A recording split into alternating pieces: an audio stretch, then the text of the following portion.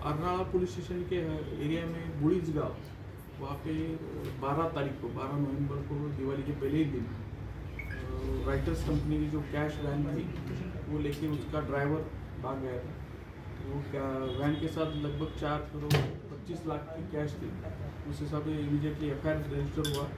उन्होंने इमीडिएटली जो इन्फॉर्मेशन देने के बाद हमने स्टेट डीजी कंट्रोल बाकी जो थाने सिटी कंट्रोल है, नई मुंबई कंट्रोल है, मुंबई सिटी कंट्रोल है हमारे मीरा भाईंदर वसई आयुक्तालय के एरिया में पूरी जगह नाकाबंदी वगैरह लगाई थी। उसी दरमियान सुबह रात भर हमें घूमने के बाद सुबह के दरमियान हमें कल्याण नाका के पास वो गाड़ी ऐसे ही अनक्लेम्ड कंडीशन में छोड़ छोड़ के वो भागा ऐसे लगा। गाड़ी हमने चेक की तो उसमें गाड़ी में से लगभग दो crore thirty three lakh sixty thousand rupees गाड़ी में से हमें रिकवर हुआ। बाकी की कैश लेके वो जो ड्राइवर है और उसके जो साथीदार है वो वहाँ से भागे, भाग चुके थे। उसके जो मेन एक्यूज है ड्राइवर उसके नाम वगैरह हमें कंपनी से मिले थे, सब डिटेल्स भी मिले। उस आधार पे हमने इन्वेस्टिगेशन किया तो उसका एक फ्रेंड अक्षय प्रभाकर मोहिते, ये भी एक केस में शामिल है।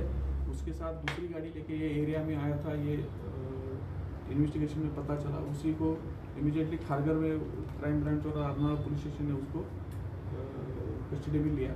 ये केस में लगभग चार करोड़ पच्चीस लाख में से लगभग चार करोड़ तेईस लाख उनतीस हज़ार रुपये रिकवर हुए हैं।